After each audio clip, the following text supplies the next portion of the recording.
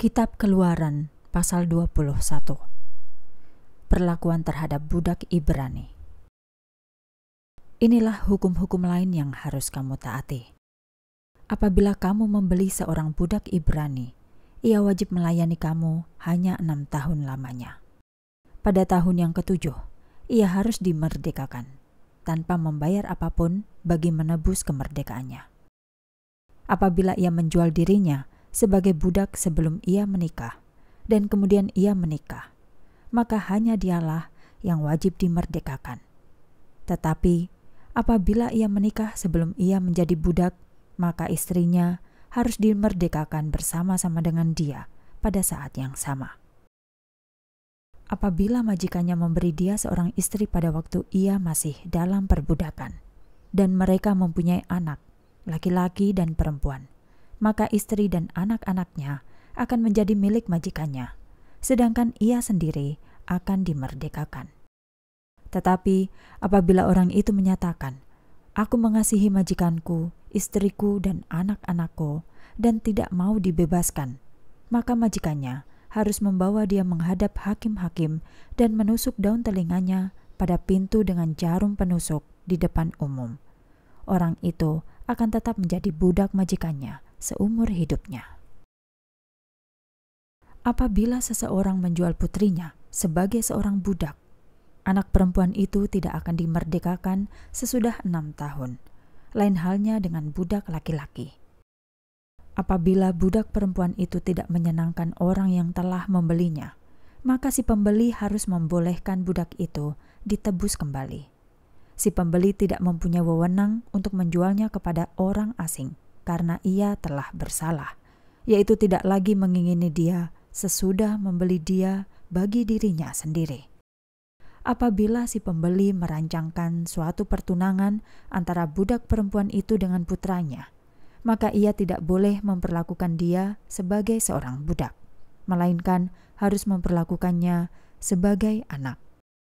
Apabila ia sendiri memperistrinya dan kemudian mengambil seorang istri lain, ia tidak boleh mengurangi sandang pangannya ataupun kewajibannya sebagai suami untuk tidur dengan dia. Apabila ia tidak memenuhi salah satu dari ketiga hal ini, maka budak perempuan itu boleh pergi dengan bebas tanpa harus membayar tebusan apa pun. Hukum mengenai tindakan kekerasan. Siapa memukul orang sedemikian kerasnya sampai mati, ia harus dihukum mati. Tetapi apabila hal itu merupakan kecelakaan, suatu perbuatan Allah, bukan karena disengaja, maka aku akan menunjukkan sebuah tempat pelarian baginya untuk memperoleh perlindungan. Namun demikian, apabila seseorang secara sengaja menyerang orang lain dengan maksud membunuhnya, seretlah dia dari mesbahku dan bunuhlah dia. Siapa memukul ayahnya atau ibunya, ia harus dihukum mati. Seorang penculik harus dibunuh. Apakah ia tertangkap ketika korban itu masih di tangannya, ataupun ketika korban itu sudah dijualnya sebagai budak? Siapa mencaci atau mengutuk ibunya atau ayahnya, ia harus dihukum mati. Apabila dua orang berkelahi, lalu yang seorang menghantam lawannya dengan batu atau dengan tinjunya, sehingga lawannya itu terluka dan harus terbaring saja di tempat tidur, namun tidak mati. Kemudian lawan itu dapat berjalan lagi walaupun pincang. Maka orang yang memukulnya dinyatakan tidak bersalah. Tetapi ia harus membayar kerugian selama lawannya menganggur karena sakit dan membayar ongkos-ongkos pengobatannya sampai sembuh benar.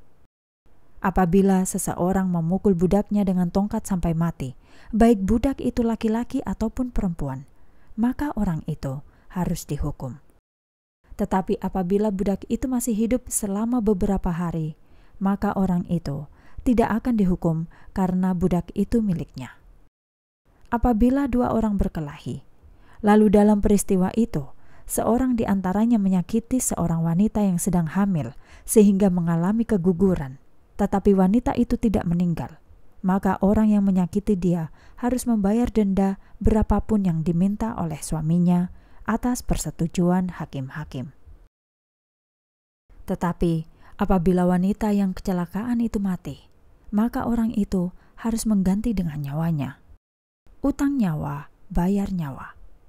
Mata diganti dengan mata, gigi diganti dengan gigi, tangan diganti dengan tangan, kaki diganti dengan kaki, lepuh diganti dengan lepuh, luka diganti dengan luka, cambukan diganti dengan cambukan. Hukum mengenai jaminan nyawa sesama manusia. Apabila seseorang memukul mata budaknya, apakah ia budak laki-laki ataupun budak perempuan, sampai matanya menjadi buta, maka budak itu harus dimerdekakan karena matanya. Apabila seorang majikan menyebabkan gigi budaknya tanggal, ia harus memerdekakan budak itu sebagai ganti giginya yang tanggal apabila seekor sapi menanduk seseorang sampai mati, baik orang itu laki-laki ataupun perempuan, maka sapi itu harus dilempari dengan batu dan dagingnya tidak boleh dimakan. Sedangkan pemiliknya bebas dari hukuman. Tetapi bila sapi itu terkenal suka menanduk orang di masa lalu dan pemiliknya sudah diperingatkan, namun sapi itu tidak dijaga olehnya, maka apabila sapi itu menanduk orang sampai mati, sapi itu harus dilempari batu dan pemiliknya juga harus dihukum mati. Tetapi kalau mau, keluarga orang mati itu boleh menuntut denda saja. Hakim-hakim akan menetapkan jumlahnya. Hukum ini juga berlaku apabila seekor sapi menanduk seorang anak laki-laki atau anak perempuan. Tetapi apabila seekor sapi menanduk seorang budak laki-laki atau budak perempuan, majikan budak itu harus diberi 30 keping uang perak dan sapi itu harus dilempari batu sampai mati. Apabila seseorang menggali sumur dan tidak menutupnya, lalu jatuhlah ke dalamnya seekor sapi atau keledai, maka pemilik sumur itu harus membayar ganti rugi sepenuhnya kepada pemilik binatang itu, dan binatang yang mati itu menjadi miliknya. Apabila seekor sapi menanduk sapi lain sampai mati, maka kedua pemilik sapi itu harus menjual sapi yang masih hidup dan membagi dua uang hasil penjualan sapi itu. Selain itu, masing-masing akan mendapat juga setengah sapi yang mati itu. Tetapi, apabila sapi itu terkenal suka menanduk, namun pemiliknya tidak menjaganya, maka pemiliknya harus membayar penuh harga sapi yang mati dan sapi yang mati itu menjadi miliknya.